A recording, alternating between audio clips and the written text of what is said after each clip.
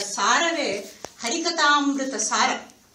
ಈ ಹರಿಕಥಾಂಸಾರ ಯಾಕೆ ನಾವು ಭಗವಂತನ ಗುಣ ಬಗ್ಗೆ ತಿಳ್ಕೋಬೇಕು? ಭಗವಂತ ದೊಡ್ಡವ, ಅವನಿಗೆ ಅನಂತ ಅನಂತ ಗುಣಗಳು ಉಂಟು. ಅದು ಯಾಕೆ ನಾವು ತಿಳ್ಕೊಳ್ಳಬೇಕು ಅಂದರೆ, ಭಗವಂತ ಹೇಗೆ ನಿರ್ದೋಷರಹಿತನು, ಅವನಿಗೆ ಭಗವಂತ ಹೇಗೆ ನಿರ್ದೋಷನೋ, ಅವನಿಗೆ ಹೇಗೆ ದೋಷ ಇಲ್ಲವೋ ಅವನ ಬಗ್ಗೆ ಹೇಳುವ, ಸರಿಯಾಗಿ ಅವನ ಬಗ್ಗೆ ಅವನ ಮಹಿಮೆಯ ತಿಳಿಸುವಂಥ ಶಾಸ್ತ್ರಕ್ಕೇನು, ಆ, ದೋಷರಹಿತತ್ವ ಇರತ್ತ. ಅದಕ್ಕೆ ಅದನ್ನು ನಾವು ಶಾಸ್ತ್ರ ಅಂತ ಕರಿತೀವಿ. ಆ, ಶಾಸ್ತ್ರಗಳು ನಮ್ಮ ದೋ, ದುಃಖವನ್ನು ದೂರ ಮಾಡಿ ಪರಂಪರೆಯ that means step by step ಮೋಕ್ಷಕ್ಕೆ ನಮ್ಮನ್ನ ಕರ್ಕೊಂಡು ಹೋಗುತ್ತೆ. ಅದಕ್ಕೆ ನಾವು ಶಾಸ್ತ್ರವನ್ನ ಓದುತ್ತೀವಿ, ಅಧ್ಯಯನ ಮಾಡ್ತೀವಿ ನಾವು. ಸೊ ಹರಿತಾಮ್ರ ಸಾರ ಎಂಬುದು ಒಂದು ಶಾಸ್ತ್ರನೇ ಆಗತ್ತೆ. ಇಲ್ಲಿ ಹರಿಕಥಾ ಅಂತ ಬರುತ್ತೆ ನೋಡಿ. ಕಥಾ ಅಂತ ಬಂದ್ರೆ ಅದೇನೋ ಒಂದು ಅಮರ್ಚಿತ್ರ ಕಥಾ ತರ ಒಂದು ಕಥಾ ಅಂತ ತಿಳ್ಕೋಬಾರದು. ಶಾಸ್ತ್ರದಲ್ಲಿ ಕಥಾ ಅಂದ್ರೆ ವಾಕ್ಯ ಪ್ರಬಂಧ ಅಂತ ಹೇಳ್ತಾರೆ. ವಾಕ್ಯದ ಜೋಡಣಿಕೆ ಎಂಥ ವಾಕ್ಯಗಳ ಜೋಡಣಿಕೆ ಎಂಥ ವಾಕ್ಯಗಳ ಜೋಡಣಿಕೆ ಅಂದ್ರೆ ದಾಸರೇ ಹೇಳ್ತಾರೆ, ಮಂಗಳ ಕತೆ ಲಕ್ಷ್ಮೀದವನ ಕತೆ ಅಂತ ಹೇಳಲ್ಲ. ಲಕ್ಷ್ಮೀದವನ ಅದು ಫಸ್ಟ್ ಪದ್ಯದಲ್ಲಿ ಬರುತ್ತೆ. ಲಕ್ಷ್ಮೀದವನ ಮಂಗಳ ಕತೆ ಅಂತ ಹೇಳ್ತಾರೆ. ಸೊ ಬೇಸಿಕಲಿ ವೇದದಲ್ಲಿ ಹೇಗೆ ಭಗವಂತನ ವೇದದ ಮಹಾ ತಾತ್ಪರ್ಯವನ್ನೇ ಏನು ಅಂದ್ರೆ ಆಚಾರ್ಯ ಹೇಳ್ತಾರೆ. ಭಗವಂತನ ಉತ್ಕರ್ಷತ್ವವನ್ನು ಹೇಳುವುದೇ ವೇದದ ಮಹಾ ತಾತ್ಪರ್ಯ ಅಂತ ಹೇಳ್ತಾರೆ. ಸೊ ಇದು ದಾಸರು ಹಾಗೆ ಹೇಳಿದ್ದಾರೆ. ಮಂಗಳ ಕಥೆ ಅಂತ ಹೇಳಿದ್ದಾರೆ. ಮಂಗಳಾನಾಂಚ ಮಂಗಳಂ. ಆ ಭಗವಂತನ ಆ ಮಂಗಳ ಮಂಗಳ ಅವನು, ಮಂಗಳ ಅವನ ತಿಳ್ಕೊಳ್ಳುವುದು ಮೂಲಕ ನಮ್ಗೇನು ಮಂಗಳ ಸಿಕ್ಕತ್ತ, ಅವನ ಅನುಗ್ರಹ ಸಿಕ್ಕತ್ತ ಅಂಬೋದಲ್ಲಿ ಇಲ್ಲಿ ತಾತ್ಪರ್ಯ. ಅದಕ್ಕೆ ಹರಿಕಥಾಮೃತ ಸಾರ ಅಂತ ಹೇಳಿದ್ದಾರೆ. ಆ ಕಥೆ ಅಂಬೋದಕ್ಕೆ ಏನು ಅಂತ ಅತ್ತೆ ಹೇಳಿದ್ದಾರೆ. ಒಂದು ಶಾಸ್ತ್ರ ನಾವು ಕಲಿಬೇಕಂದ್ರೆ ಅದಕ್ಕೆ ಅಧಿಕಾರಿ ಯಾರು ಅಂತ ಫಸ್ಟ್ ಪ್ರಶ್ನೆ ಬರುತ್ತೆ. ಈ ಶಾಸ್ತ್ರಕ್ಕೆ ಅಧಿಕಾರಿ ಯಾರು ಅಂದ್ರೆ ಆ ಮೋಕ್ಷವನ್ನ ಬಯಸುವ ಪ್ರತಿ ಒಂದು ಜೀವನು. ಹೆಂಗಸರಾಗಲಿ, ಗಂಡಸರಾಗಲಿ, ಪಂಡಿತರಾಗಲಿ, ಪಾಮರರಾಗಲಿ, ಮೋಕ್ಷ ಬೇಕು ಅಂತ ಬಯಸುವ ಒಂದು ಸಜ್ಜನರು ಅಧಿಕಾರಿ ಆಗ್ತಾನೆ. ಆ ವಿಷಯ ಏನು? You need a subject matter ಇಲ್ಲಿ ವಿಷಯ ಏನು ಅಂದ್ರೆ ಆ ಭಗವಂತನೇ ವಿಷಯ. ಅವನೇ ನಮಗೆ ಮೋಕ್ಷವನ್ನ, ಆ ಸುಖವನ್ನ, ದುಃಖರಹಿತ ಸುಖವನ್ನ ಕೊಡಕ್ಕೆ ಅವನಿಗೆ ಸಮರ್ಥ ಅವನು. ಅವನೇ ವಿಷಯ. ಪ್ರಯೋಜನ ಏನು ಅಂದ್ರೆ ಮೋಕ್ಷನೇ ಪ್ರಯೋಜನ. ಸೊ ಈ ಅಧಿಕಾರಿ ಭಗವಂತ ವಿಷಯವನ್ನ ತಿಳ್ಕೊಂಡು ಆ ಮೋಕ್ಷವ ಪಡೆಯೋದು ಈ ಸಂಬಂಧ ಇದಲ್ಲ ದಿಸ್ ಕನೆಕ್ಷನ್ ಇದನ್ನ ಅನುಬಂಧ ಚತುಷ್ಟಯ ಅಂತ ಕರೀತಾರೆ. ಇದು ಶಾಸ್ತ್ರದ ಲಕ್ಷಣ ಇದು. ಸೊ ಹರಿತಾಂಸಾರಕ್ಕೇನು ಈ ಅನುಬಂಧ ಚತುಷ್ಟಯ ಅದರಲ್ಲಿ ಉಂಟು ಉಂಟು ಅಂತ ಹೇಳ್ತಾರೆ. ಹೇಳ್ತಾರಲ್ಲ, ಉಂಟು ಅದಕ್ಕೆ. ಆಮೇಲೆ ಭಗವಂತನ ವಿಷಯ ಆಗಲಿ, ಯಾವುದೇ ಒಂದು ಗ್ರಂಥ ಶುರು ಮಾಡುವಾಗ ನಮಗೆ ಅನೇಕ ವಿಘ್ನಗಳು ಬರುತ್ತೆ. ಆ ವಿಘ್ನಗಳ ನಮಗೆ ಹೋಗ್ಬೇಕು. ಒಂದು ಪುಸ್ತಕ ಓದ್ಬೇಕಂದ್ರೆ ನಮಗೆ ವಿಘ್ನಗಳು ಕಾಣಿಸುತ್ತೆ. ಆ ವಿಘ್ನ ಹೋಗಬೇಕು, ನಾವು ಬಯಸಿದ್ದನ್ನು ನಮಗೆ ಸಿಕ್ಕಬೇಕು. ಅದಕ್ಕೆ ನಾವು ದೇವರನ್ನ ಪ್ರಾರ್ಥನೆ ಮಾಡಬೇಕು. ಅದೇ ಮಂಗಳಾಚರಣ ಅಂತ ಮೊಟ್ಟ ಮೊದಲಿ ಮಂಗಳಾಚರಣ ಪದ್ಯನೋ, ಇಲ್ಲಿ ದಾಸರು ಒಂದು ಸಂಧಿಯನ್ನೇ ಇಟ್ಟಿದ್ದಾರೆ. ಅದು ಮಂಗಳಾಚರಣೆಯಿಂದ ಶುರು ಮಾಡ್ತಾ ಇದ್ದಾರೆ ದಾಸರು. ಇಲ್ಲಿ ನಮ್ಮ ಆಚಾರ್ಯರು ತಂತ್ರಸಾರದಲ್ಲಿ ಹೇಳಿದ್ದಾರೆ. ಒಂದು ವಿದ್ಯೆನೆ ಆಚಾರ್ಯ ಹೇಳಿದ್ದಾರೆ ಅಂದರೆ ಅವರು ಪಂಚರಾತ್ರ ಆಗಮವನ್ನ ಉಲ್ಲೇಖ ಮಾಡಿಕೊಂಡು ಅಲ್ಲಿ ತಿಳಿಸುವಂತ ವಿಷಯವನ್ನೇ ಆಚಾರ್ಯ ಹೇಳ್ತಾ ಇದ್ದಾರೆ. ಅದನ್ನೇ ನಮ್ಮ ದಾಸರು ನಮಗೆ ಕೊಟ್ಟಿದ್ದಾರೆ. ಅಲ್ಲಿ ಏನ್ ಹೇಳ್ತಾರೆ ಅಂದ್ರೆ ಒಂದು ವಿದ್ಯೆಯನ್ನ ಕಲಿಬೇಕಂದ್ರೆ, ವಿದ್ಯೆ ಅಂದ್ರೆ ಏನು? ವೇದದ ಜ್ಞಾನವೇ ವಿದ್ಯೆ. ಈಶ್, ದೇವರು ಬೇರೆ, ನಾವು ಬೇರೆ, ಅವನು ಬಂದು ಈಶಾ, ನಾವು ದಾಸ ಅಂತ ತಿಳ್ಕೊಳ್ಳುವುದೇ ವಿದ್ಯೆ. ಆ ವಿದ್ಯೆ ನಮಗೆ ಬರಬೇಕಂದ್ರೆ ಏಳು ಮೂಲ ಗುರುಗಳನ್ನ ಪ್ರಾರ್ಥನೆ ಮಾಡಬೇಕು ಅಂತ. ಆ ಏಳು ಮೂಲ ಗುರುಗಳು ಯಾರು? ನೀವೆಲ್ಲ ಜಪ ಎಲ್ಲ ಮಾಡ್ತೀರ? ಅಲ್ಲಿ ಮಾಡುವಂತ ಸೇಮ್ ಥಿಂಗ್, ಅದೇ ವಿದ್ಯೆ ಇದ್ದು. ಏಳು ಮೂಲ ಗುರುಗಳು ನಾರಾಯಣ, ಲಕ್ಷ್ಮಿ, ಬ್ರಹ್ಮವಾಯುಗಳು, ಸರಸ್ವತಿ, ಭಾರತಿ ಮತ್ತು ನಮ್ಮ ವೇದವ್ಯಾಸರು.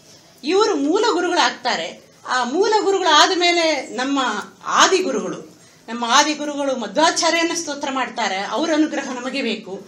ಅದು ಆದಮೇಲೆ ನಮ್ಮಲ್ಲಿ ಕುಳಿತು, ನಮ್ಮ ಮೂಲಕವಾಗಿ ನಮಗೆ ಪ್ರೇರಣೆ ಕೊಟ್ಟು ಮಾಡಿಸುವಂತ ದೇವತೆಗಳು, ತತ್ವಾಭಿಮಾನಿ ದೇವತೆಗಳು ಫಸ್ಟ್ ಮನಸ್ಸು ಬೇಕಲ್ಲ, ಆ ಗ್ರಂಥದಲ್ಲಿ ನಾವು ಮನಸ್ಸಿರಬೇಕು.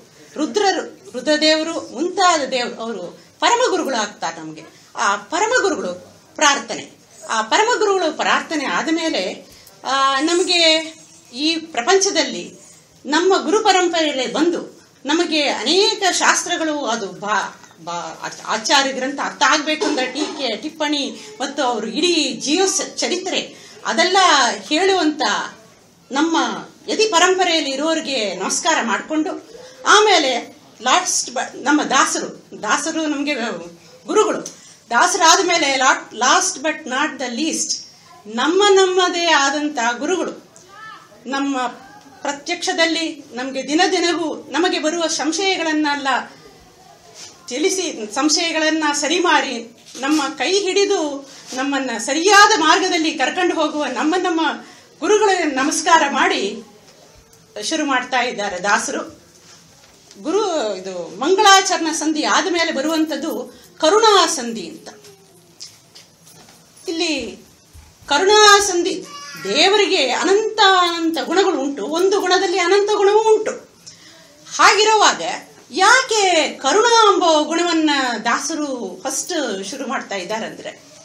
ನೋಡಿ, ದೇವರು ದೊಡ್ಡವ, ಅವನಲ್ಲಿ ಎಲ್ಲ ಇದ ಅಂದ್ರ ಮಾತ್ರಕ್ಕೆ ನೀವು ದೇವರ ಹತ್ರ ಹೋಗೋದಿಲ್ಲ. ಲೌಕಿಕದಲ್ಲಿನೂ ಹಾಗೆ ಮಾಡ್ತೀರಾ. ಯಾರೋ ಒಬ್ಬ ದೊಡ್ಡವನಿದ್ರೆ ಅವನ ಹತ್ರ ನಾವು ಹೋಗಲ್ಲ. ಅವನು ನಾವು ಬಯಸಿದ್ದನ್ನು ಅವನು ಕೊಡಬಲ್ಲ. ಅವನಲ್ಲಿ ಅಂಥ ಕಾರುಣ್ಯ ಇದೆ. ನಾವು ಪರಮ ನೀಚರ, ಪರಮ ಅಲ್ಪ ಜೀವರಾಗಿ ಇದ್ರೂ ಅವನು ಅವನಲ್ಲಿ ಆ ಕಾರುಣ್ಯ ಇದೆ. ಕರುಣಾ ಅಂಬೋ ಗುಣ ಗೃಣ ಅಂದ ಅಂಬೋ ಗುಣ. ಗೃಹಿಣಿ ಅಂತಲೇ ಅವನ್ನ ಉಪಾಸನೆ ಮಾಡ್ತೀವಿ ನಾವು. ಸಾಳಿಗ್ರಹ ಪೂಜೆ ಮಾಡುವಾಗಲೂ ಗೃಣ ಉಳ್ಳವನು ಗೃಣಿ ಗೃಣಿ ಅಂತ ಮಾಡ್ತೀವಿ, ಮತ್ತೆ ಹೆಂಗಸರು ಏನ್ ಮಾಡಬೇಕು ಅಂದ್ರೆ ಹೆಂಗಸರು ಅದು ನೋಡಬೇಕು, ಅಥವಾ ಸೂರ್ಯನಲ್ಲಿ ಗೃಣ ಗೃಣಿ ಅಂತ ಅವನು ಇದಾನಂತ ಸೂರ್ಯ ಆದಿತ್ಯ. ಅಲ್ಲಿ ಅವನು ಇದಾನ ಗೃಣಿ ಎಂಬ ಹೆಸರಲ್ಲಿ ಅವನ್ನ ನಾವು ನಮಸ್ಕಾರ ಮಾಡಿದ್ರೆ ನಮ್ಗೆ ಆರೋಗ್ಯ ಸಿಕ್ಕತ್ತ, ಭಾಗ್ಯ ಸಿಕ್ಕತ್ತ, ಸಂಪದ ಸಿಕ್ಕತ್ತ ಅಂತ ದಾಸರು ಹೇಳಿದ್ದಾರೆ ನಮ್ಗೆ. ಆಚಾರ್ಯ ಹೇಳಿದ್ದನ್ನೇ ದಾಸರು ಹೇಳಿದ್ದಾರೆ. ಅದಕ್ಕೆ ಆ ಗುಣವನ್ನ ಮೊಟ್ಟ ಮೊದಲು ಹೇಳ್ತಾರೆ. ನಮ್ಗೆ ವಿಶ್ವಾಸ ಬರಬೇಕು. ದೇವರತ್ರ ಹೋಗಕ್ಕೆ ದೇವರತ್ರ ಶಾಸ್ತ್ರ ಪ್ರವೇಶ ಮಾಡ್ಲಿಕ್ಕೆ ಯಾವ ಗುಣ ಹೇಳಿದ್ರೆ ನಮಗೆ ವಿಶ್ವಾಸ ಬರುತ್ತೋ ಆ ಗುಣದಿಂದಲೇ ಅದನ್ನ ಹರಿಕತಾಂಸಾರ ಈ ಗುಣಗಳನ್ನ ಫಸ್ಟ್ ಕರುಣಾಸಂಧಿ ಹೇಳ್ತಾ ಇದ್ದಾರೆ. ಭಗವಂತನಲ್ಲಿ ಕರುಣೆ ಇದೆ ಅಂದ್ರೆ ಮಾತ್ರಕ್ಕೆ ನಾವು ಹೋಗ್ತೀವಿ. ಸೊ ಕರುಣೆಯನ್ನ ಮೊಟ್ಟ ಮೊದಲು ದಾಸರು ಹೇಳ್ತಾರೆ. ಕರುಣ ಅಂದ್ರೆ ಏನು? ಕರುಣ ಅಂದ್ರೆ ನಾವು ಬಯಸಿದ್ದನ್ನೆಲ್ಲ ಕೊಟ್ರೆ ಕರುಣ ಅಂತ ಆಗತ್ತಾ? ಇಲ್ಲ, ಅದು ಸರಿ ಇಲ್ಲ. ಒಂದು ವಿದ್ಯಾರ್ಥಿ ಪರೀಕ್ಷೆ, ಪರೀಕ್ಷೆಗೆ ಓದಲ್ಲ. ಪ್ರಯತ್ನ ಅಂತೂ ಮಾಡೇ ಮಾಡೋದಿಲ್ಲ. ಮತ್ತು ಟೀಚರ್ ಬಂದು ಅವನಿಗೆ ಫಸ್ಟ್ ರ್ಯಾಂಕ್ ಕೊಡಬೇಕಂದ್ರೆ ಅದು ಸರಿಯಲ್ಲ ಅಂತ ನಮ್ಮ ಎಲ್ರಿಗೇನು ಅರ್ಥ ಆಗುತ್ತೆ. ಸೊ ಅಂಥ ಕರುಣ ಇಲ್ಲಿ ಹೇಳಲ್ಲ. On the same side on the other side ಒಂದು ಸ್ಟೂಡೆಂಟು ಎಲ್ಲ ಪ್ರಯತ್ನವನ್ನು ಮಾಡ್ತಾನೆ. ಪ್ರಯತ್ನ ಮಾಡ್ತಾನ, ಓದುತ್ತಾನ, ಪರೀಕ್ಷೆ ಚೆನ್ನಾಗಿ ಬರಿತಾನೆ. ಆ ಮೇಸ್ಟ್ ಬಂದು ಹೇಳ್ತಾರೆ, ನನಗೆ ಅಧಿಕಾರ ಉಂಟು. ನಾನು I made I change my rules ನಿನಗೆ ನಾನು ಪಾಸ್ ಕೊಡಲಾರೆ. ಅಂತ ಹೇಳಿದ್ರೂ ಅದು ಸರಿಯಲ್ಲ. ಸೇಮ್ ಥಿಂಗ್ ಹಿಯರ್ ಭಗವಂತ ನಾವು ಬಯಸಿದ್ದ ಎಲ್ಲವನ್ನು ಕೊಡಲ್ಲ. ಅದು ಸರಿಯಲ್ಲ. ಮತ್ತೆ ನಾವು ಅವನು ಹೇಳಿದ್ದ ರೀತಿಯಲ್ಲಿ, ವೇದದಲ್ಲಿ ಹೇಳಿರುವಂತ ರೀತಿಯಲ್ಲಿ ಆಚಾರ್ಯರು ತೋರಿಸಿದ ಮಾರ್ಗದಲ್ಲಿ ನಾವು ಸಾಧನೆ ಎಲ್ಲ ಮಾಡ್ಕೊತಾ ಹೋಗಿ, ಕೊನೆಯಲ್ಲಿ ಅವನು ಹೇಳ್ತಾನೆ, ನಾನು ಸ್ವತಂತ್ರ. I change my rules from today ನಿನಗೆ ಮೋಕ್ಷ ಕೊಡಲ್ಲ ಅಂತ ಹೇಳಿದ್ರೂ ಅದು ಸರಿಯಾಗೋದಿಲ್ಲ. ಮತ್ತು ಕರುಣ ಅಂದ್ರೆ ಏನು? ಕರುಣ ಅಂದ್ರೆ ಭಗವಂತನಿಗೆ ನಮ್ಮಿಂದ ಆಗುವಂಥದ್ದು ಒಂದೂ ಇಲ್ಲ. ಅವನಿಗೆ ಒಂದೂ ಏನು ಏನೇನೂ ಏನೇ ಪ್ರಯೋಜನವೇ ಇಲ್ಲ. ಸ್ವಪ್ರಯೋಜನ ಅಂಬೋದು ಅವನಲ್ಲಿ ಚೂರನೂ ಇಲ್ಲ. ಅವನು ಎಲ್ಲ ತೃಪ್ತ ಮೀನ್ ಗುಣಪೂರ್ಣ ಆನಂದ ಸಾಗರ ಅವನು ಅವನು ಆನಂದದಲ್ಲಿ ಇದ್ದಾನ ಅವನು. ಅವನಿಗೆ ಬೇಕಾದ್ದು ಒಂದೂ ಇಲ್ಲ. ದಟ್ಸ್ ವೈ ಈಸ್ ಗಾಡ್ ಹಾಗೆ ಇದ್ರೂ ಅವನು ಸ್ವತಂತ್ರನಾಗಿ ಇದ್ರೂ ಅವನಿಗೆ ಯಾವ ಅಪೇಕ್ಷೆಯೂ ಇಲ್ಲದೆ ಇದ್ರನು ರಮಾ ಬ್ರಹ್ಮಾದಿ ಉತ್ತಮೋತ್ತಮ ದೇವತೆಗಳು, ಅವನು ಸಾಧನೆಯ ಉತ್ತಮೋತ್ತಮ ರೀತಿಯಲ್ಲಿ ನಾವು ಮಾಡುವಂತರ ಇಲ್ಲ. ಉತ್ತಮ ಉತ್ತಮ ವಸ್ತುಗಳು ಇಟ್ಟುಕೊಂಡು ಅವ್ರು ಮಾಡ್ತಾ ಇದ್ದಾರೆ. ಇದ್ರನು ನಾವು ಅವನ ಕಣ್ಣಿಗೆ, ಹೇಗೆ ನಮಗೆ ಕಣ್ಣಿಗೆ ಒಂದು ತೃಣ, ಒಂದು ಬ್ಯಾಕ್ಟೀರಿಯಾ ಹೇಗೋ ಅವನ ಕಣ್ಣಿಗೆ ನಾವು ಇನ್ನೂ ಇನ್ನೂ ನೀಚ ನಾವು. ನಮಗೆ ಉಪೇಕ್ಷೆ ಮಾಡ್ಲಂಗೆ, ನಮ್ಮಲ್ಲೇ ಬಂದು ಕೂತು ನಮಗೆ ಪ್ರೇರಣೆ ಉಂಟು ಮಾಡಿ ನಮಗೆ ಸಹಕಾರ, ನಮಗೆ ಸಾಮಾನು ನಾವು ಸಾಧನೆ ಮಾಡಬೇಕಂದ್ರೆ ಅದಕ್ಕೆ ಆ facilities the atmosphere the people around ಎಲ್ಲರನ್ನು ಕೊಟ್ಟು ನಮ್ಮ ಮೂಲಕವಾಗಿ ಆ ಪ್ರಯತ್ನವನ್ನ ಮಾಡಿ, ಮಾಡಿಸಿ, ಸಾಧನೆಯನ್ನು ಮಾಡಿ, ಮಾಡಿಸಿ, ಆ ಫಲ ಮೋಕ್ಷವನ್ನ ಕೊಟ್ಟು ತನ್ನ ಧಾಮದಲ್ಲಿ ಅವನು ಇಡ್ತಾನೆ. ಇಟ್ಟು ತನ್ನ ಮನೆಯನ್ನೇ ಕೊಡ್ತಾನೆ. ಯಾ, ಒಂದು ದಿವಸಕ್ಕಿಲ್ಲ ಎರಡು ದಿವಸಕ್ಕಿಲ್ಲ ಅನಂತ ಅನಂತ ಕಾಲಕ್ಕೆ ಅವನು ಮನೆಯನ್ನೇ ನಮಗೆ ಕೊಟ್ಟು ಆ ಕೊಟ್ಟ ಸುಖವನ್ನ ಉಳಿಸ್ತಾನ ಅವನು. ಹಾಗೆ ಉಳಿಸ್ತಾನ. ಅದು ಕಾರುಣ್ಯ. ಅದೇ ಕಾರುಣ್ಯ. ಅದಕ್ಕೆ ಭಗವಂತನ ಗೃಣಾ ಗೃಣೀ ಅಂತ ನಾವು ಉಪಾಸನೆ ಮಾಡ್ತೀವಿ. ಕರುಣಾ ಕರುಣಾ ಸಾಗ ಕರುಣಾ ಮಹೋದತಿ ಅಂತ ನಾವು ಹೇಳ್ತೀವಿ. ಸೊ ಕರುಣೆಯನ್ನ ಫಸ್ಟ್ ಹೇಳಿದ್ರನೇ ಅಲ್ಲಿ ಹೋಗ್ತೀವಿ. ಸೊ ಆ ಕರುಣೆ ಬಗ್ಗೆ ನಮ್ಗೆ ಇನ್ನೂ ಚೆನ್ನಾಗಿ ಅರ್ಥ ಆಗಬೇಕು, ಮನಸ್ಸು ಮುಟ್ಟಬೇಕು ಅಂತ ಒಂದು ಸಂಧಿಯನ್ನೇ ಇಟ್ಟಿದ್ದಾರೆ ದಾಸರು.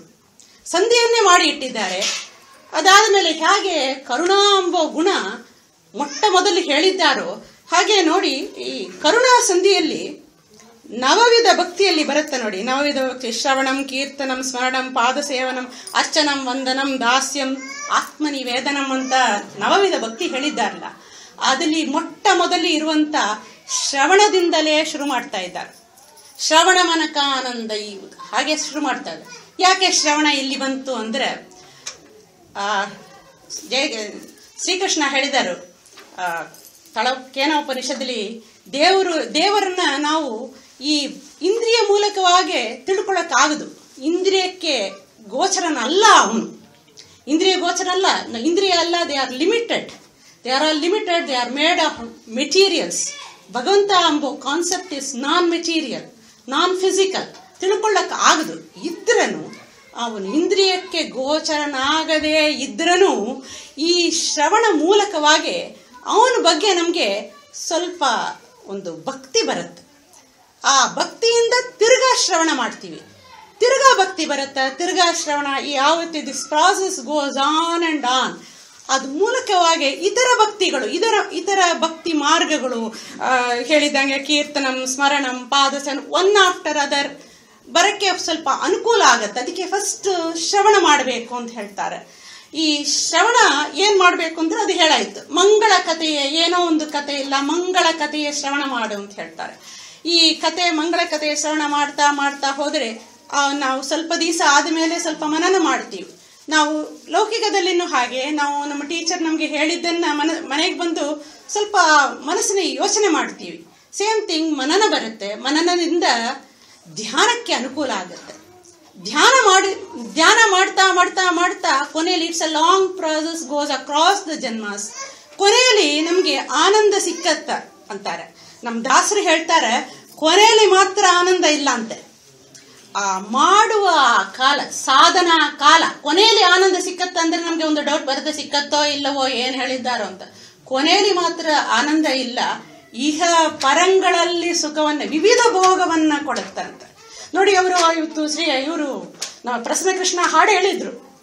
ಹಾಡು ಬಾಮನಿ ಶತ್ಪದಿಯಲ್ಲಿ ಉಂಟು. ಆ ಹಾಡು ಹೇಳಿದ್ದಾಗೆ ನಮಗೆ ಖುಷಿ ಖುಷಿ ಆಯ್ತು, ತುಂಬಾ ಖುಷಿ ಆಯ್ತು. ಕೇಳಿನೇ ಅರ್ಥ ಆಗತ್ತೋ ಇಲ್ಲವೋ ಕೇಳಿದ್ರೆ ಖುಷಿ ಆಯ್ತು. ಆ, ಸ್ಥೂಲ ಮೀನಿಂಗು ಗೊತ್ತಿದ್ರೆ ಅದು ಒಂದು ತರ ಸುಖ ಆಗತ್ತೆ, ಅದು ಒಂದು ಭೋಗ ಆಗತ್ತೆ. ಅಥವಾ ಅದರಲ್ಲಿ ಒಳಗಿರುವಂತ ಅರ್ಥಗಳು, ಮತಿತಾರ್ಥವನ್ನು ತಗೊಂಡಾಗೆ ಪರಮ ಆನಂದನೇ ಆಗತ್ತೆ. ಸೊ ವಿವಿಧ ಭೋಗಗಳ ಕೊಡುತ್ತೆ. ಮತ್ತು ನಾವು ಮಾಡುವ ಒಂದೊಂದು ಕಾರ್ಯನು, ಒಂದೊಂದು ಒಳ್ಳೆ ಕಾರ್ಯನು ಭಗವಂತ ಬಗ್ಗೆ ಮಾಡುವ ಒಂದೊಂದು ಕಾರ್ಯನು ಪ್ರಯೋಜನ ರಹಿತವಾಗಿ ಇರೋದಿಲ್ಲ ಅದಕ್ಕೆ ಒಂದು ಫಲ ಉಂಟು. ಅದಕ್ಕೆ ಒಂದು ಒಳ್ಳೆದೇ ದೇವರು ಕೊಡ್ತಾನೆ. ಸೊ ಇಲ್ಲಿನೂ ನಮಗೆ ಸುಖ, ನಮ್ಮ ದುಃಖ ದೂರ ಆಗತ್ತೆ. ಒಂದು ಹಾಡು ಕೇಳಿದ್ರೆ ದುಃಖ ಸ್ವಲ್ಪ ದೂರ ಆಗತ್ತೆ. ಇಲ್ಲಿನೂ ನಮಗೆ ಸುಖ, ಕೊನೆಯಲ್ಲಿ ಮುಕ್ತಿಯನ್ನು ಕೊಡ್ತಾನ ಅಂತ ಹೇಳ್ತಾ ಇದ್ದಾರೆ. ಮತ್ತು ಇದನ್ನು ಹೇಗೆ ಕೇಳಬೇಕು?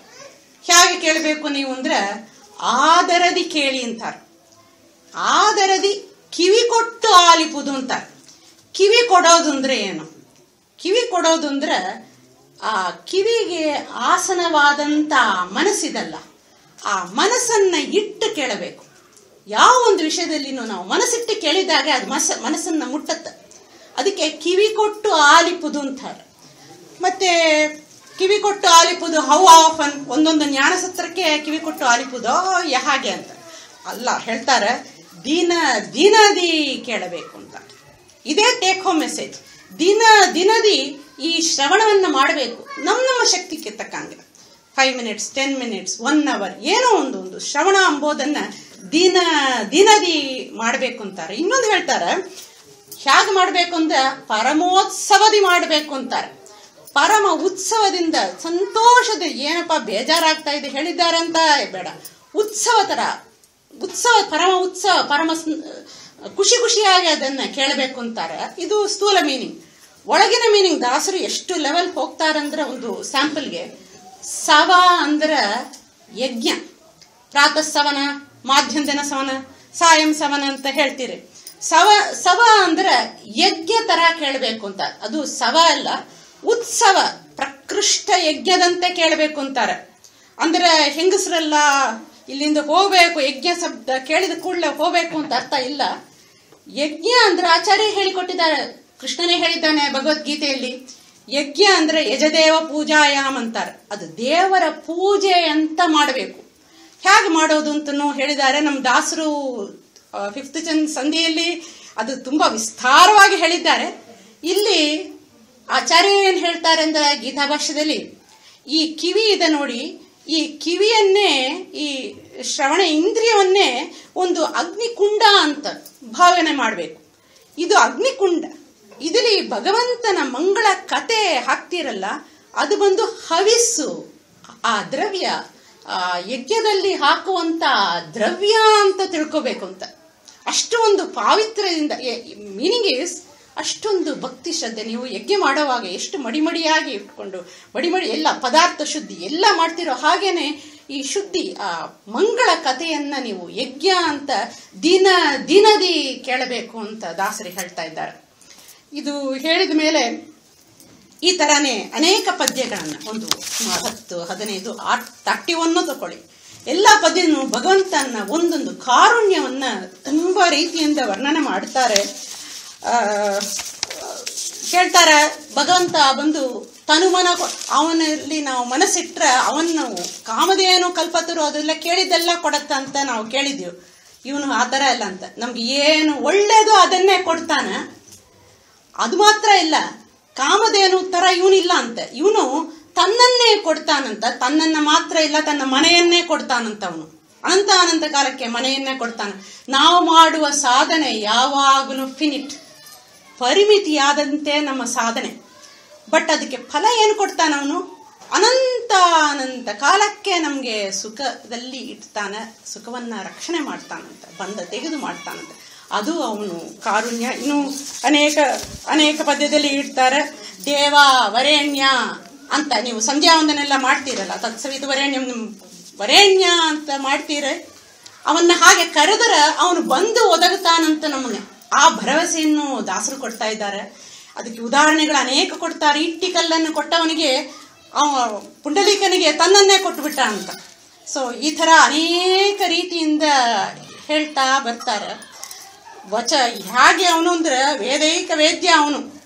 ಆ ವೇದಗಳೇ ಅವನ ಸರಿಯಾಗಿ ತಿಳ್ಕೊಳ್ಳಕ್ಕಾಗದು. ಆ ಲಕ್ಷ್ಮೀದೇವಿ, ಆ ವೇದದ ಅಭಿಮಾನಿಯಾದಂಥ Lakshmidevi she has not understood him completely ಹಾಗಿರುವನು ನಾವು ಮಾಡುವ ಏನೋ ಒಂದು ಸ್ತೋತ್ರಕ್ಕೆ ಒಲಿದು ನಮಗೆ ಒಂದು ಫಲವನ್ನ ಕೊಡ್ತಾನಂತರ ಅದು ಎಂಥ ಕಾರುಣ್ಯ ಅಂತ ಹೇಳ್ತಾ ಹೋಗ್ತಾರೆ. ನಮಗೆ ಒಂದು ಸಂದೇಹ ಬರುತ್ತೆ ಇಲ್ಲಿ.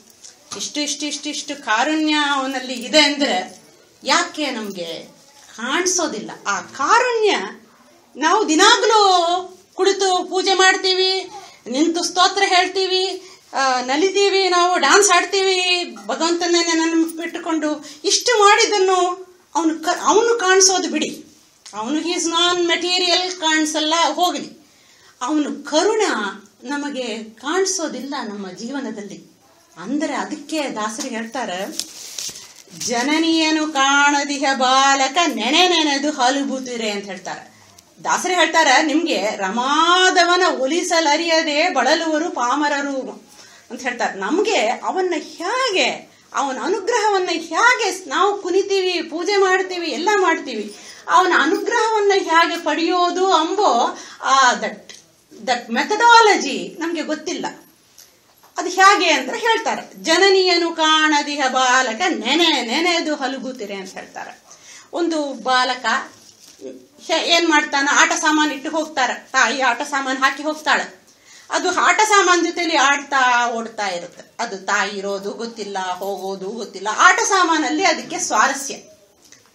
ಆಮೇಲೆ ಸ್ವಲ್ಪ ಹೊತ್ತು ಆದಮೇಲೆ ಅದಕ್ಕೆ ಆಟ ಸಾಮಾನು ಬೇಡ ಅಂತ ಅನ್ಸುತ್ತೆ. ತಾಯೇ ಬೇಕು ಅಂತ ಅನ್ಸುತ್ತೆ ಅದಕ್ಕೆ. ನೆನೆ, ನೆನೆದು ಅಂತಾರೆ. ನೆನೆ, ನೆನೆದು ಅಂದ್ರೆ, ಆ, ತಾಯಿ ಬೇಕು ಅಂತ ಅದು ತೊಯ್ಯೋದು. ಗೆಟಿಂಗ್ ಸೋಕ್ಡ್ ಇನ್ ಭಗವಂತ ಥಾಟ್ಸ್ ಆಮೇಲೆ ಇಲ್ಲಿ, ತಾಯಿ ಬೇಕು ಅಂತ ಹೇಳ್ತಾರೆ ಹಲಗುತ್ತೀರಿ ಅಂದ, ತಾಯೇ ಬೇಕು, ನೀನು ಬಂಗಾರ ಕೊಡ್ತೀನಿ, ಸ್ವೀಟ್ ಕೊಡ್ತೀನಿ. ಅಂದ್ರನಿಲ್ಲ, ತಾಯೇ ಬೇಕು ಅಂತ ಮಗು ಹಠ ಮಾಡಿದಾರ. ತಾಯಿ ಎಲ್ಲಿನೂ ಹೋಗಲ್ಲ, ತಾಯಿ ಅಲ್ಲೇ ಇದ್ದಾಳೆ. ಆ ನಗ್ತಾ ನೋಡ್ತಾ ಇರ್ತಾಳೆ. ಮಗು ಆಟ ಆಡೋದು ನೋಡ್ತಾಳೆ. ತನ್ನ ಬೇಕು ಅಂತ ಹತ್ರ ಓಡಿ ಬಂದು ಅಪ್ಪಿಕೊಳ್ತಾಳೆ ಮಗುನ.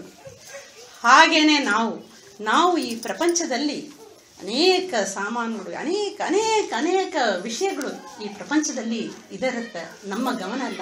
ಆ ವಸ್ತುವಲ್ಲಿ ಇದೆ. ನಾವು ವಸ್ತುವನ್ನು ನಾವು ಬಿಡೋದಿಲ್ಲ ಹತ್ರನೇ ಇಟ್ಕೊಂಡಿರ್ತೀವಿ. ಅಷ್ಟು ನಮಗೆ ಆ ವಿಷಯದಲ್ಲಿ ಸೆಳೆತ ಇರುತ್ತೆ. ಭಗವಂತ ಆ ಥರ ಬೇಕು ಅಂತ ನಾವು ಎಂದೆಂದೂ ಕೇಳಿದ್ದೇ ಇಲ್ಲ. ಭಗವಂತನೇ ಬೇಕು ಅಂತ ನಾವು ಭಗವಂತನ ಇದರಲ್ಲಿ we didn't get ourselves up in his thoughts ಹಠನೂ ಮಾಡಿಲ್ಲ. ನಮಗೆ ಒಂದು ಬೇಡ, ಭಗವಂತನೇ ಬೇಕು ಅಂತ ಹಠನೂ ಮಾಡಿಲ್ಲ. ಅದಕ್ಕೆ ನಿನಗೆ ಸಿಗ್ತಾ ಇಲ್ಲ. ಭಗವಂತನ ಪರಮ ಪುರುಷಾರ್ಥ ರೂಪನು ಹರಿಯೇ ಎಂದು ಅದು ಹೇಗೆ ಮಾಡಬೇಕು? ಭಗವಂತನೇ ಬೇಕು ಬೇಕು ಅಂತ ನಾನು ಕೂತ್ಕೊಂಡು ಇವಾಗ ಬೇಕು ಬೇಕು ಬೇಕು ಅಂದ್ರ ಬಂದ್ಬಿಡ್ತಾನಂದ್ರ ಅಲ್ಲಿ ಅಲ್ಲಿ ತಾತ್ಪರ್ಯ ಇಲ್ಲ. ಏನಂದ್ರ? ಅವನ್ನ ಹೇಗೆ ನಾವು ನೆನೆಯಬೇಕು ಅಂದ್ರ ಪರಮ ಪುರುಷಾರ್ಥನು ಹರಿಯೇ. ಲೋಕಕ್ಕೆ ಎಂದು ಸದುಪಾಸನೆಯ ಮಾಡ್ಪರಿ. ಅವರು ಜಯತೀರ್ಥನವರು ಅದು ಕೇಳಬೇಕು ಅಂದ್ಕೊಂಡ್ರು ಸೊ ಐ ಆಮ್ ಸದುಪಾಸನೆಯ ಮಾಡಬೇಕು ಅಂತ. ಸದುಪಾಸನೆ ಅಂದ್ರೆ ಏನ ಸತ್ತುಪಾಸನೆ ಅಸತ್ತುಪಾಸನೆ ಅಂತ ಏನಾದ್ರು ಡಿವಿಷನ್ ಇದೆಯಾ ಅಂತ? ಹಾಗಲ್ಲ. ಸದ್ಭಾವೆ ಸಾಧುಭಾವೆ ಅಂತ ಆ ನಿರ್ದೋಷನಾದ ಹರಿಯೇ ಸತ್.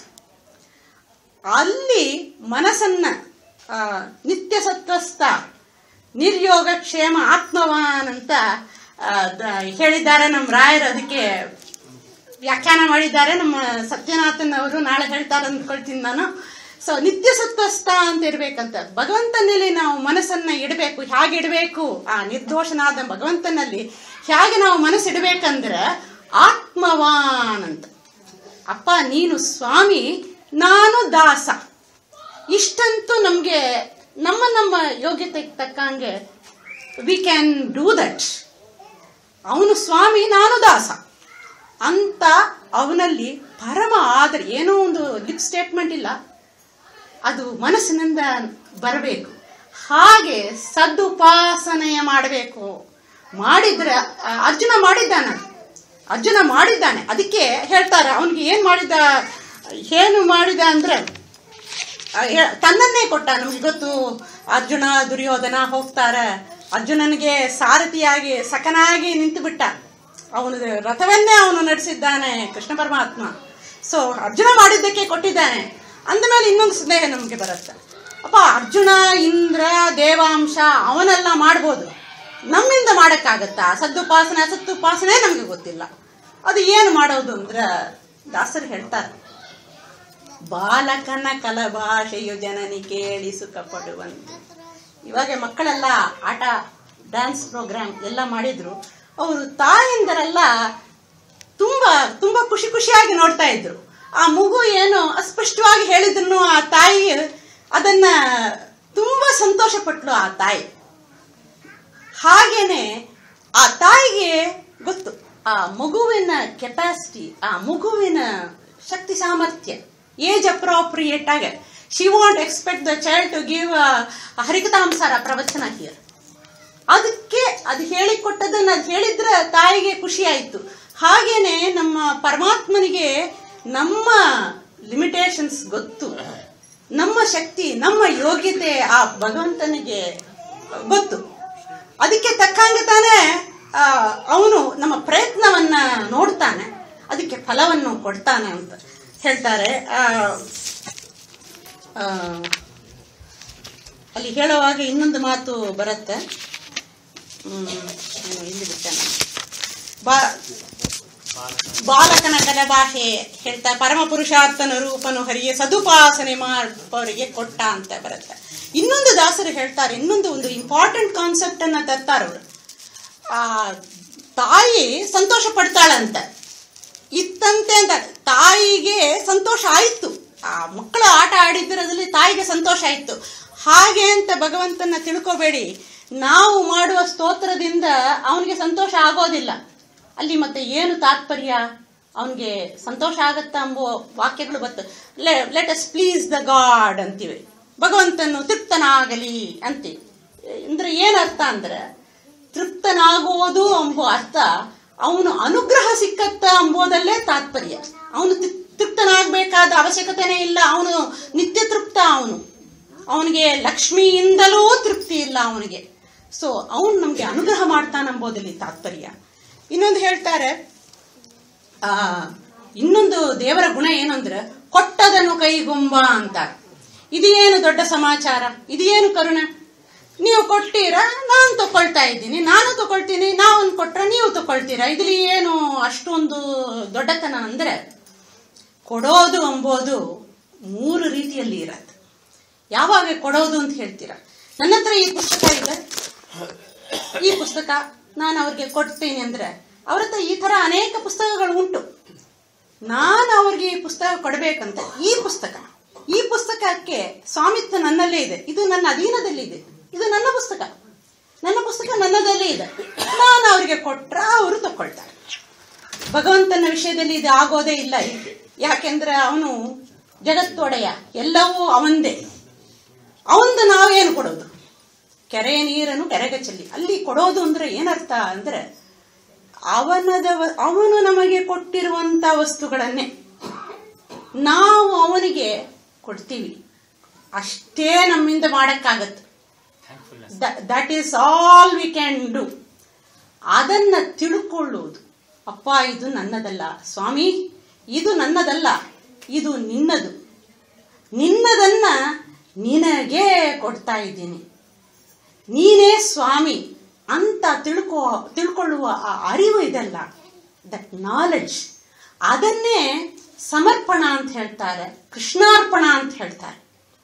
ದ ಕರ್ಮ ಸಮರ್ಪಣೆ. ಹೂ, ಹಣ್ಣು ಕೊಡ್ತೀರಾ ದೇವರಿಗೆ? ಕರ್ಮ ಸಮರ್ಪಣೆ ಮಾಡಿ ಇಂದ ಕರ್ಮವನ್ನ ಹೇಗೆ ಹಾಗೆ ಸಮರ್ಪಣ ಇಡ್ತೀರಾ? ಇಲ್ಲ. ದ ಕಾನ್ಸೆಪ್ಟ್ ಬಿಹೈಂಡ್ ಇಟ್ ಎಲ್ಲ ದೇವರದೇ. ನನ್ನದು ಒಂದು ಅಲ್ಲ. ದೇವರದೇ ದೇವರಿಗೆ ಕೊಡ್ತೀನಿ. Because I can't do anything else that's my limitation ಅಪ್ಪ, ನೀನೇ ಒಡೆಯ. ಅಂತ ತಿಳ್ಕೊಳ್ಳುವುದೇ ಕರ್ಮ ಸಮರ್ಪಣೆ. ಅದು ಒಂದು ಕೊಡುವುದು ಅಂತ. ಇನ್ನೊಂದು ದಾಸರು, ಇನ್ನೊಂದು ಹೈ ಲೆವೆಲ್ಲಿ ಇನ್ನೊಂದು ಒಂದು ಕಾನ್ಸೆಪ್ಟ್ ಅನ್ನ ತರ್ತಾ ಇದ್ದಾರೆ. ಅದು ನಮಗೆ ಕೊಡಕ್ಕಿಲ್ಲ. ಪತ್ರ ಇಲ್ಲ, ಪುಷ್ಪ ಇಲ್ಲ, ಏನೋ ಇರತ್ತ. ಎಲ್ಲೋ ನಾವು ಪ್ಲೇನ್ಲಿ ಹೋಗ್ತಾ ಇರ್ತೀವಿ. ಏನೋ ಆ ಟೈಮ್ ಬರುತ್ತೆ, ಏನ್ ಮಾಡೋದು? ಅಂದ್ರೆ ಮನದೊಳಗೆ ಸುಂದರ ಪದಾರ್ಥವನ್ನೇನೆ ನೆನೆದು ಕೊಡೆ ಅಂತ. ಅಂದ್ರೆ ಮನಸ್ಸಲ್ಲಿ ಒಂದು ಪದಾರ್ಥವನ್ನ, ಹೂವನ್ನ ಸೃಷ್ಟಿ ಮಾಡಿ ದೇವರು ನಿಮಗೆ ಪುಷ್ಪಂ ಸಮರ್ಪಯಾಮಿ ಅಂತ ಹೇಳೋದಂದ್ರೆ ಅದೂ ಇಲ್ಲ.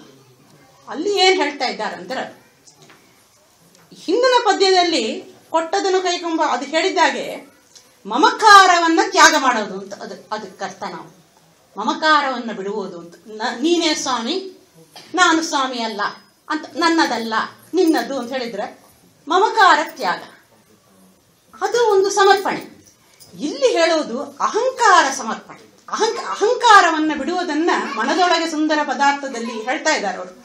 ನೋಡಿ not only the tangible objects the ವಸ್ತುಗಳು, ಪುಷ್ಪ, ಪತ್ರ, ಹೂ, ಹಣ್ಣು, ಇದು ಮಾತ್ರ ಇಲ್ಲ. ನಮ್ಮ ಮನಸ್ಸಲ್ಲಿ ಇರುವಂತ ಥಾಟ್ಸ್ ನಮ್ಮ ಮನಸ್ಸಲ್ಲಿ ಇರುವಂತ ಅನೇಕ ಥಾಟ್ಸ್ ಎಲ್ಲ ಇರುತ್ತೆ. ನಮ್ಮ ಊಹೆ, ನಮ್ಮ ಕಾಲ್ಪನಿಕ, ನಮ್ಮ ಥಾಟ್ ಪ್ರಾಸೆಸ್ ಎವ್ರಿಥಿಂಗ್ ನಮ್ಮ ಹಗಲು ಕನಸು, ನಿದ್ರೆ ಕನಸು, ಏನೇನೋ ಕನಸುಗಳು ಎವ್ರಿಥಿಂಗ್ ಅವನೇ ನಿರ್ಮಾಣ ಮಾಡಿದ್ದಾನೆ. ಅವನೇ ನಿರ್ಮಾತೃ. ಹೀ ಇಸ್ ದ ಕರ್ತ. I didn't create my dreams ಆ ಶಕ್ತಿಯನ್ನ, ಆ ಪ್ರೇರಣೆ, ಈ ತರ ಯೋಚನೆ ಮಾಡು. ಈ ತರ ಹೇಳು. ಈ ತರ ಯೋಚನೆಗಳು ಎಲ್ಲ ಕೊಡುವನು ಅವನೇ. ಆ ಕರ್ತೃತ್ವವನ್ನ ಬಿಡುವುದು. ಅವನೇ ಕರ್ತ. ಅದನ್ನು ಈ ಒಂದು ನಾನ್ ಟ್ಯಾಂಜಿಬಲ್ ಮ್ಯಾಟರ್ಸ್ ವಾಸನಾಮಯ ಪದಾರ್ಥ ಅಂತ ನಾವು ಹೇಳ್ತೀವಿ. ನೀವು ಕನಸಲಿ ಒಂದು ಲಯನ್ ನೋಡಿದ್ರೆ that lion that thing is different from ಇವತ್ತು ದಾಮಲ್ ಇದ್ವಿ ನಾಳೆ ಇದೇ ಕನಸು ಬಂದ್ರೆ ದೇ ಆರ್ ನಾಟ್ ಸೇಮ್ ಅದು ವಾಸನಾಮಯ ಅಂತ ಹೇಳ್ತೀವಿ. They are real but they are ವಾಸನಾಮಯ. ಅದನ್ನು ಅವನೇ ಸೃಷ್ಟಿ ಮಾಡಿದ್ದಾನಂತೆ. ಆ ಕರ್ತೃತ್ವ ತ್ಯಾಗ, ಅಹಂಕಾರ, ಖಂಡನ, ಅದನ್ನು ದೇವರಿಗೆ ಕೊಡುವುದು ಅಂದ್ರೆ ಅದನ್ನ ಅವನು ಸ್ವೀ- ಸ್ವೀಕಾರ ಮಾಡ್ತಾನೆ. ಆ, ಈ ಮಗುಗೆ ಏನೋ ಏನೋ ಚೂರು ಸಾರು ಅರ್ಥ ಆಗಿದೆ ಅಂತ. ಅದಕ್ಕೆ ದೇವ್ರು ಏನ್ ಕೊಡ್ತಾನಂದ್ರೆ ಹೇಳ್ತಾರ, ಎಂಥ ಒಂದು ಹೇಳ್ತಾ ಇದ್ದಾರಂದ್ರೆ, ಒಂದು ದೇವನದಿ ಗಂಗಾ ಪ್ರವಾಹ. ಗಂಗಾ ಪ್ರವಾಹ ಹೇಗೆ ಇರುತ್ತೋ ನಾನ್ ಸ್ಟಾಪ್ ಅಷ್ಟ್ ಹಾಗೆ ಅವನು ಫಲವನ್ನು ನಮಗೆ ಕೊಡ್ತಾನಂತೆ ಅಷ್ಟೊಂದು ಕರುಣಾಮಯ ಅಂತ ಹೇಳ್ತಾ ಇದ್ದಾರೆ. ಆದ್ರೆ ಇನ್ನೊಂದು ಹೇಳ್ತಾರೆ ಅವರು, ಸದ್ಗುಣವ ಕದ್ದವರ ಅಗವ ಕದಿವನು ಅಂತ. ಇದೇನು ಕದಿಯೋದು ಅಂದ್ರೆ ಏನು ಅಂದ್ರೆ ನಮಗೆ ಗೊತ್ತು.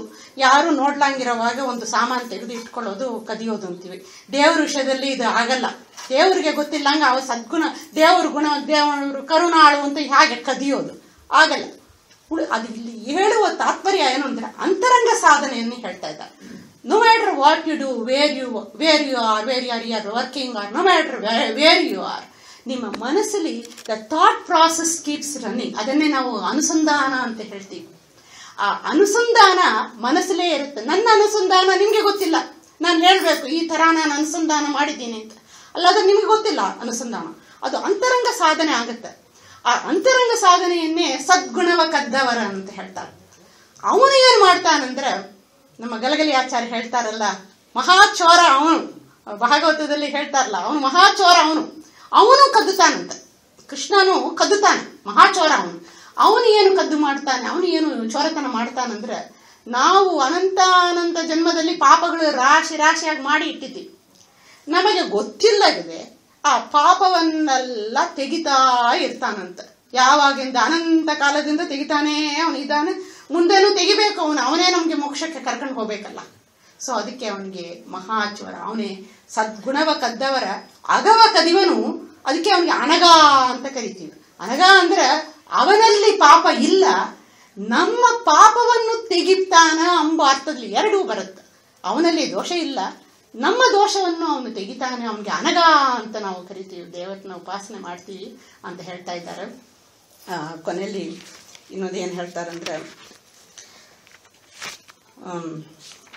ದೇವರ, ದೇವರು ಒಂದೊಂದಕ್ಕೇನೋ ಒಂದು ಉದಾಹರಣೆ ಇಟ್ಟಿದ್ದಾನೆ. ದೇವರು ನಮಗೆ ಕಾಣಿಸೋದಿಲ್ಲ, ಕನಸಲಿನೂ ನಮಗೆ ಕಾಣಿಸೋದಿಲ್ಲವೇ ಅಂದ್ರೆ ದುಃಖ ಪಡಬೇಕಾಗಿಲ್ಲ ನೋಡಿ, ನಮಗೆ ಕಣ್ಣು ಕೊಟ್ಟಿದ್ದಾನೆ, ಕಣ್ಣಿಗೆ ರೆಪ್ಪೆ ಕೊಟ್ಟಿದ್ದಾನೆ. ಕಣ್ಣಿಗೆ ಎಂದದಲ್ಲಿ ಅಂತ. ಕಣ್ಣು ಎಲ್ಲ ಪದಾರ್ಥವನ್ನು ನನ್ನ ಕಣ್ಣು ನನಗೆ ತೋರಿಸ್ತಾ ಇದೆ. ಮತ್ತೆ ನನ್ನ ರೆಪ್ಪೆ, ನನ್ನ eyelids I can't see it ಅದು ನಾನು ಕೇಳೋದೇ ಇಲ್ಲ. ಏನೋ ಬಂದ್ರೆ ಅದು ಕಣ್ಣು, ಕಣ್ಣನ್ನು ರಕ್ಷಣೆ ಮಾಡುತ್ತೆ. ಕೇಳಲಾಂಗೇ ರಕ್ಷಣೆ ಮಾಡ್ತಾ ಅದಕ್ಕೆ ಪ್ರಯೋಜನವೂ ಒಂದು ಇಲ್ಲ. ಆ ಐಲೈಟ್ಸನ್ನು ನಾನು ನೋಡಬೇಕಂದ್ರೆ ಒಂದು ಕನ್ನಡಿ ಬೇಕು. ಹಾಗೆಯೇ ದೇವರು ಎಲ್ಲಿನೂ ಇಲ್ಲ. ನಮ್ಮಲ್ಲೇ ಅವನು ಇದಾನೆ ಅಂತ ಮುಂದೆನೆ ಹೇಳಿದ್ವಿ. ಮುಂದೆ ಇಲ್ಲೇ ಇದಾನ ಅವನು, ನಮ್ಮಲ್ಲೇ ಇದಾನ ಅವನು. ಅವನು ಇಲ್ಲದ ಜಾಗನೇ ಇಲ್ಲಲ್ಲ. ಇಲ್ಲೇ ಇರಬೇಕು. ಇಲ್ಲೇ ಇದ್ದ ನಮಗೆ ಕಾಣಿಸೋದಿಲ್ಲ. ಅದನ್ನ ಅವನು ನೋಡಬೇಕು ಅಂದ್ರೆ ಈ ಹರಿಕದಾಮೃತ ಸಾರ ಅಂತ ಒಂದು ಶಾಸ್ತ್ರ ನಮಗೆ ಬೇಕು. ಶಾಸ್ತ್ರದ ದರ್ಪಣದಲ್ಲಿಂದ ಅವನ್ನ ನೋಡ್ಬೇಕು ನೋಡಕ್ಕೆ ಸಾಧ್ಯ ಅಂತ ಹೇಳ್ತಾ ಇದ್ದಾರೆ.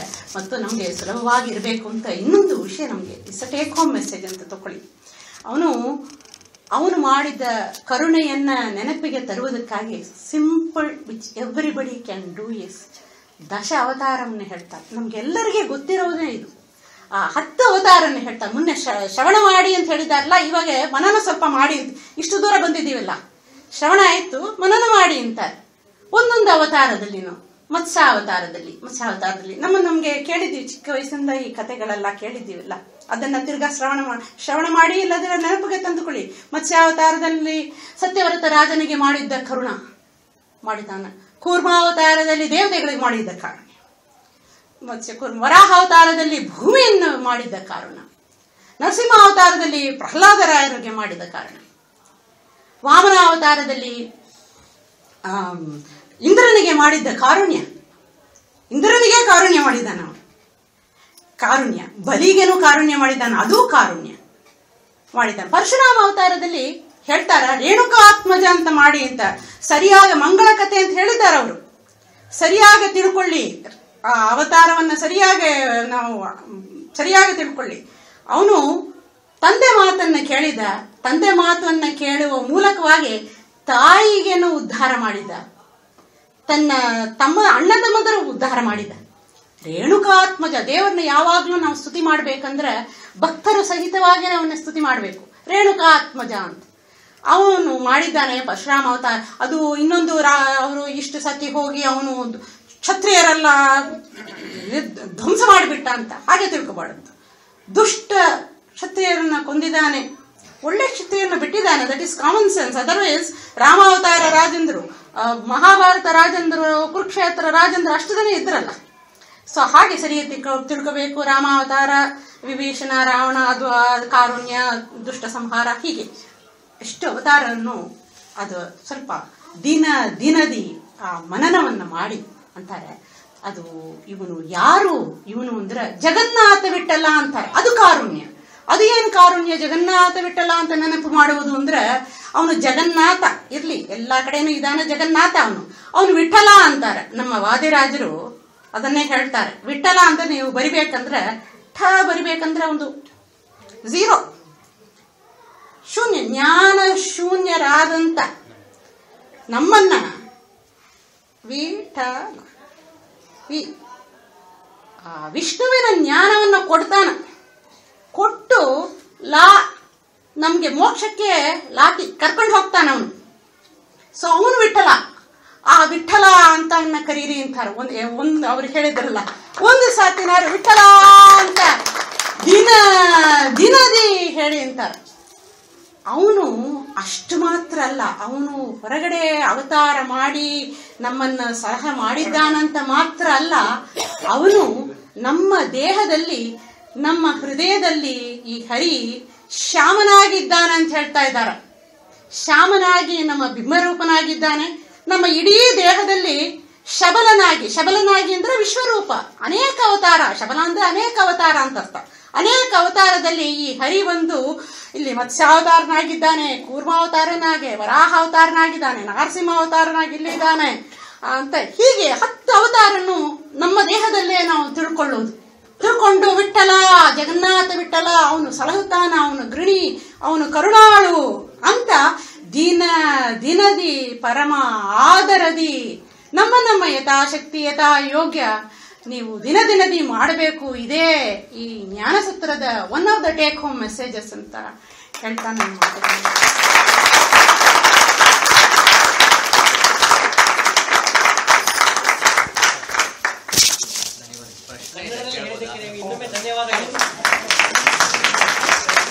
ಅದು ಭಗವಂತನ ಕರುಣೆ ಅದು.